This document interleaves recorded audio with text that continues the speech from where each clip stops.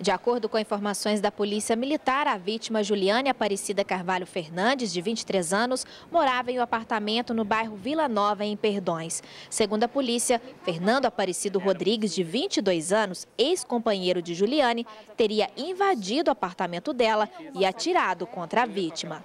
A Polícia Militar foi acionada através da irmã do autor, que ligou para o 190, após ter recebido uma ligação do próprio irmão, falando que era para ligar para a polícia que ele cometeria um, uma besteira.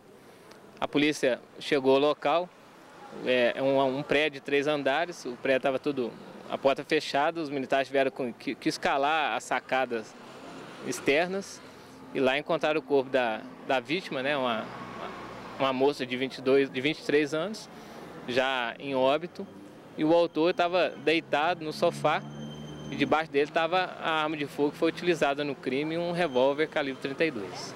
Capitão Afonso disse ainda que, segundo relatos de familiares, eles tinham um relacionamento difícil e Fernando era muito ciumento.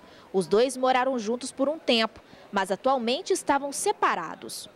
Pelos relatos familiares que se encontravam lá no, no local, ele tinha bastante ciúme da moça e eles viviam em constantes brigas.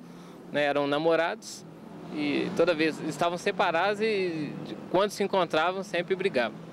Provavelmente o motivo seja passional.